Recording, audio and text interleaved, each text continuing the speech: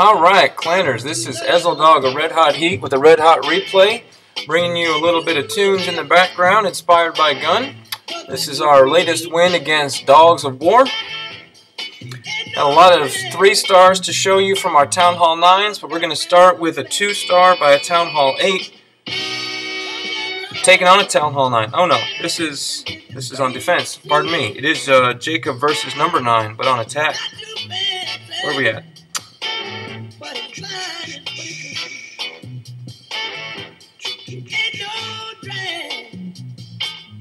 I hate trying to find this. Here it is. 13 versus 9, not 9 versus 13. Alright, Jacob's coming in with a Town Hall 8 Go White against this Town Hall 9. And so the first question this raises is how are you going to get into the core without jump spells as a Town Hall 8? And he's going to do it with rages. He's going to rage his wall breakers through that layer and then his P.E.K.K.A.s and heroes and other troops are going to just chop right through, trying to get to that queen. She's like a magnet. And he's going to put the poison down against these uh, low HP clan castle troops. Got a heal for them in the core, getting the town hall. I don't know what these guys are thinking with their CC troops. Uh, I don't think it's it's swung around to where nothing is poisonable, so no one's using poison because they want to use haste instead. So you can put weak troops in the CC. It's just it's not like that. Because um, like I said in the last video, even if you have high HP um, clan castle troops, the way the poison slows them slows their movement and slows their attacking is a big advantage against balloons and dragons that are slow enough already. Alright, well Jacob's got the town hall and now he's cleaning up the percentage points. Great job by him. Everyone was cheering him on for this one. And I think this happened uh, because of the fact that all the Town Hall 8s were cleared, so he was attacking up. Uh, trying to help out, scout the base, and just work on his techniques here in the war. Very nice. Okay, uh, we'll just run through and show the three stars. We're not going to show any Town Hall 7s or 8s. We've seen them. The hogs are pretty much locked down. We know how to do it. Uh, Charles had a six-star war. We're going to look at his second one a little later on. We'll start here with James. Coming in with a GoLaLoon with one Golem. And he's clearing out all the trash up there at the top. Boy, that Golem went all the way around to that cannon. Uh, again, weak CC troops, he's right there with it on the poison. The wizards won't even get much uh, one round of shots. Two, oh, two, three, four. Okay, they do get quite a few shots in on the golem, but it's a max golem and they go down. Um, before this archer queen, I would have liked to see the wizards out to the side with that golemite still up, creating the funnel. But the AQ doesn't drift, she goes in. And might almost be afraid that the king would drift, but he's going to lock in on that queen. I don't know why the power happened there on the queen, and the king's about to use his power too. I don't know if these are mistaps, because he's at full health. Um, and we're not in a rush here, so there's a question about the hero ability use. But no question about the lava attack. He's got four rages left. Still all four air defenses to get, so uh, maybe he didn't get what he wanted out of that push. Things did go a little bit north there with the funnel. But he's got four air defenses and four rages, so he's going to rage one on each of the first two. Getting in there. Hounds are still at about half health. Speed up a little bit. Uh, nice. He has seven balloons back in the in the bag to come up on these uh, air defenses from the other side. And I don't even know if the fourth uh, rage was even necessary there.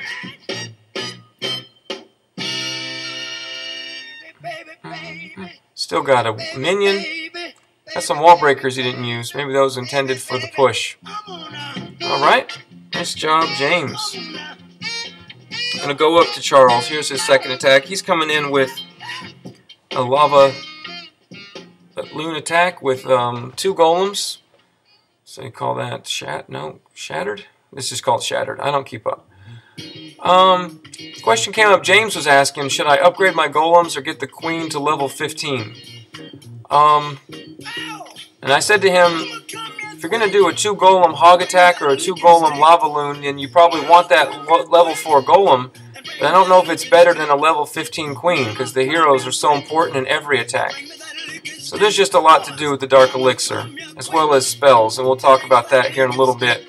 Because speaking of spells, Charles is still bringing the lightning. This is kind of like pre-update clan castle stuff. Uh, I really think it would be better with a poison, and not not with that uh, that haste there.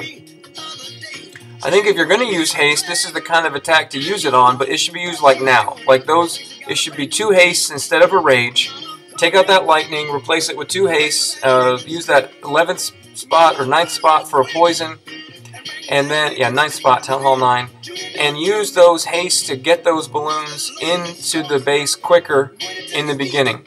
We haven't really done that, and I think part of the reason might be back to that same question about what to upgrade we don't really have upgraded haste too much in the clan. You see Charles' haste is level 1.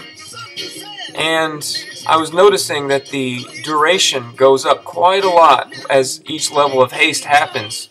So you can kind of put it down and start your attack and still get there and not have to get your balloons in right away. So I think the more we upgrade our haste, the more we'll see people swapping out rages for a couple haste spells on these balloon attacks. So right now most people are sticking to what's comfortable.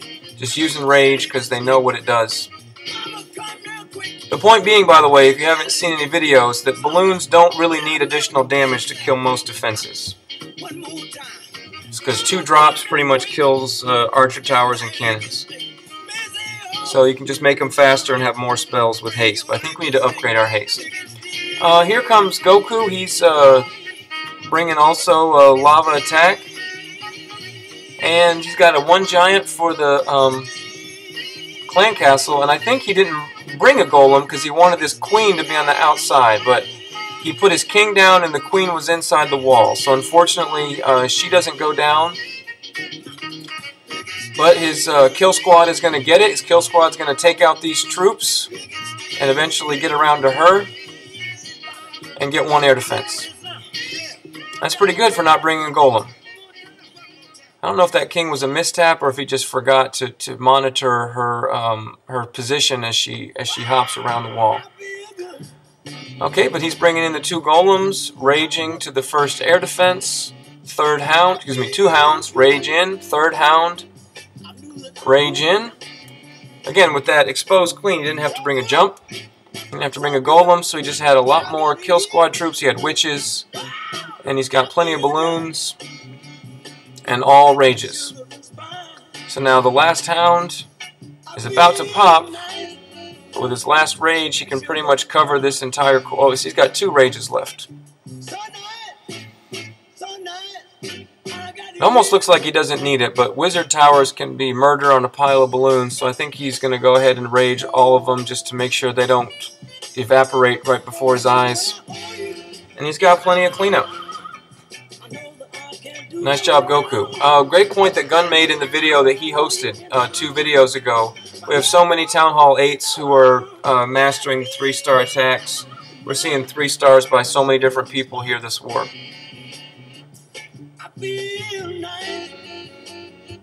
Alright, let's go on. Kung Fu Monkey. Another different attacker.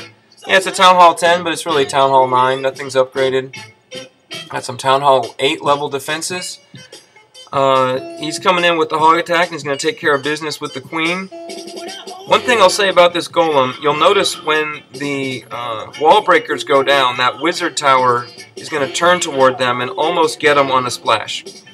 So as you're planning your um, push, always be checking the radius, the radii on the wizard towers, mortars, and even especially crossbows on flat on flat ground can can reach out and pop your breakers and not get you in where you want to be. Okay, it didn't matter here, but it can ruin a raid to have a certain wall not open up for your breakers. So now these hogs are going to encounter some exterior bombs. I think uh, Kung Fu Monkey was so surprised he didn't even, you know, stop dropping hogs to heal, but he gets his heals up. It's terrible bomb placement. I guess that's the only place they could have been because there's no room in the core for them. So he unluckily hit two on the outside, but he's still got uh, two left, and they're going to cover half the base. So good. Now he's pretty slow here on the poison, and you'll watch by the time the poison goes down, the skeletons actually run out of it. See, there they are. They kind of miss. He's trying to get all the skeletons. I think that's probably the greatest area for improvement that we have uh, in these hog and balloon attacks is getting the poison down effectively to keep your troops up. It's not going to matter here, of course, uh, but it's a consideration for future attacks. Getting that automatized, just be like, okay, my troops are in, my heals are down, you know, and somewhere in that be thinking about poison, especially when you're getting to the core, because you know that's where those skeleton traps are going to pop open. Alright, Sir Patrick and Gunn got some two stars. This is a two star, but I'm going to show it anyway just for discussion of Town Hall 10 three star techniques. I know one big problem I have is trying probably to go for the two star too much, three star too much. It's exciting. It seems like that's what the game's about, is trying to compete, and uh, two stars is kind of boring. Didn't hurt us this war, but I think there's the last war we drew, and if I'd done a safe two-star instead of a one-star, we would have won. Of course, if anybody picked up one more star, we would have won in a draw. Uh, but this was a Mass Witch, and I was trying something that I saw in a replay, putting golems out to each side to um, keep the witches going toward the center and not, not uh, run to the sides like they kind of do here in this compartment. I think the big flaw was I didn't realize that there was no wall behind this um, elixir storage here to the side, and the skeletons really just flow to the right. And that's not a problem because we get the town hall and we get the infernos. And I was telling someone single infernos is kind of perfect for witch. They can't keep up. The, the infernos are killing one skeleton at a time. But I think the last rage, I don't think I realized how empty the core was, and I was going to rage out on this skull wall. That was my plan, not to jump out, because rage skeletons can just tear through skull wall. But if I had dropped it down where the king was, on that other pile of skeletons, instead of here in the core, you'll see it in a second, where there's almost no skeletons. Look at how many skeletons are down here. If they had been under rage right now, and the ones who come along to replace them, I think this corner would have gone down a lot quicker. And the reason why this is not a three star is because the Archer Queen is here. She uses her ability, and she's going to get out in front of the rest of the skeletons. Okay, they're tanking for that cannon. They're tanking for this Tesla. But she's already used her ability, and she has a lot of trash to get through before she can get to that Archer. Um, and, and I think time ends up being the factor, but I think if the skeletons had been out in front, if they'd gone through that skull wall and the queen hadn't gone down, might have gotten it. Alright, so just some thoughts on the Mass Witch at Town Hall 10. Alright, but like Gunn said in his video, we're thrilled to have so many people 3-starring at the Town Hall 8 level with variety of attacks. Um, go, go uh, ho, go holo, go valo, all kinds of things. The clan's really coming along, and we're looking forward to setting up some arranged matches soon. But until then, this is um, for more competition. This is Ezeldog of Red Hot Heat with the Red Hot Replays and James Brown. And thank you for watching.